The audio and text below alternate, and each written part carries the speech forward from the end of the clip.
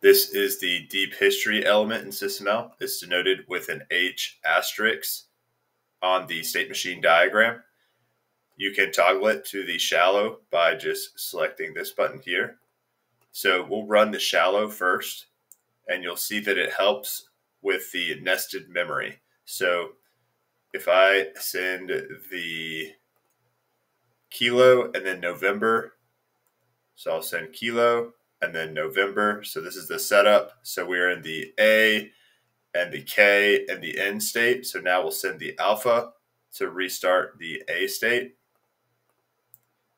And the shallow history is going to remember the that that it goes into the K state, but it doesn't remember that it goes back to the N. So if I then restart this, but I change it to my deep history here, restart it, and then I'll do the setup. So the kilo November signals.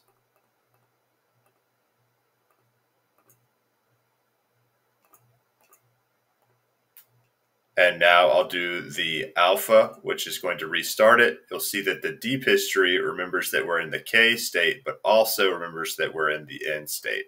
So it remembers all levels of nesting, while the shallow only remembers one level of nesting.